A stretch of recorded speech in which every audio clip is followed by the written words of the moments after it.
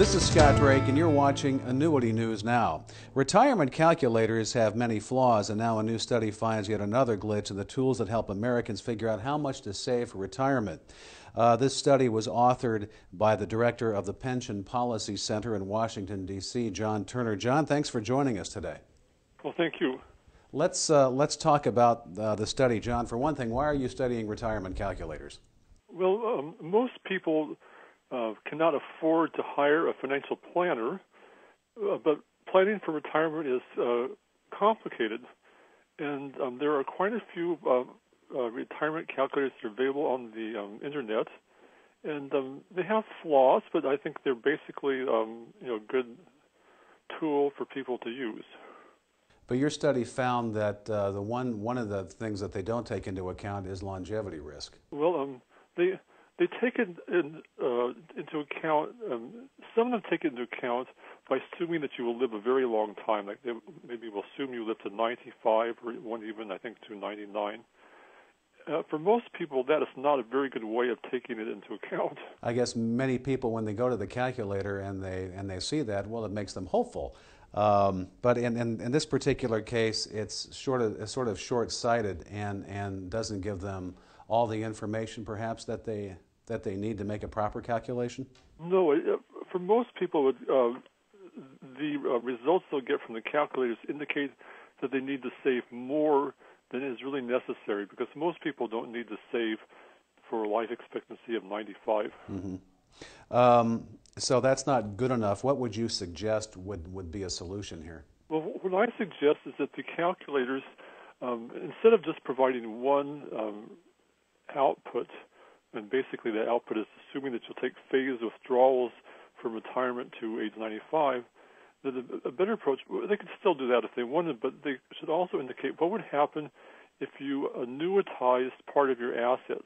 They could do um, that, you know, for everybody, or I think it'd be better if they um, did it in somewhat of a targeted manner. Uh, for example, in, in my study, I uh, created a scenario where it was clear that the person should annuitize. The person um, had a very long life expectancy and uh, no dependence and no desire to leave a bequest.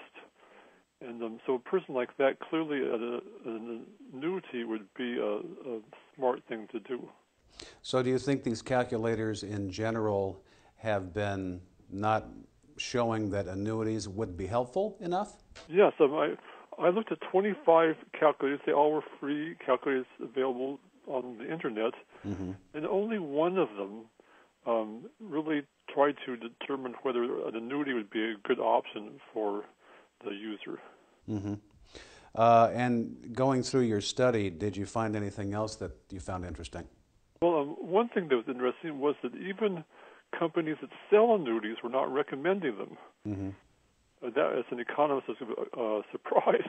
I'm not recommending them. How so? Um, I was, you know, entering the data for a woman who um, clearly should uh, take an annuity, mm-hmm. and um, they uh, were just assuming that she would uh, use phased withdrawals, and they didn't even suggest an annuity as an option. Mm-hmm. So during your study, what you did was you set up a bunch of uh, fictitious profiles and ran each calculator through the process. Is that is that what I'm understanding here? Yes, that's exactly right. I set up two profiles. One profile was um, set up uh, specifically to make annuities a, um, a, the right thing to do, and the other profile was set up in the opposite way, so the person should not annuitize. Um, but the fact is that um, only one uh, program made an effort to distinguish between those two uh, profiles. So, what would you suggest the, the average person who is beginning to consider these options uh, goes to the internet, finds a retirement calculator? What, how should they go about getting the rest of the information that they need? So there are a lot of calculators out there, and uh, so generally they might try more than one calculator just to um, hmm. uh, see that the results vary. Mm-hmm. And um, I um, you know, a lot of the calculators are pretty good, but um, the actually the Department of Labor has a calculator, which I think is um, a reasonable one. That's at the um, Employee Benefits Security Administration website, and that calculator has a lot of uh, uh, helpful information about how to use it. so that would be one place that people might uh, look.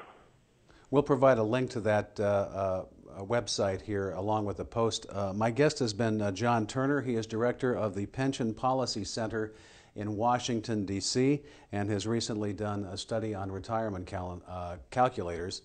John, thanks for taking the time to join us today. Well, thank you. This is Scott Drake, and you're watching Annuity News Now.